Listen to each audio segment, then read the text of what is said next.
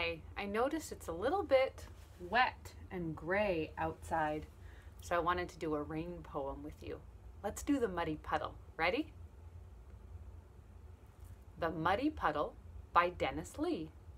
I am sitting in the middle of a rather muddy puddle with my bottom full of bubbles and my rubbers full of mud, while my jacket and my sweater go on slowly getting wetter as I very slowly settle to the bottom of the mud.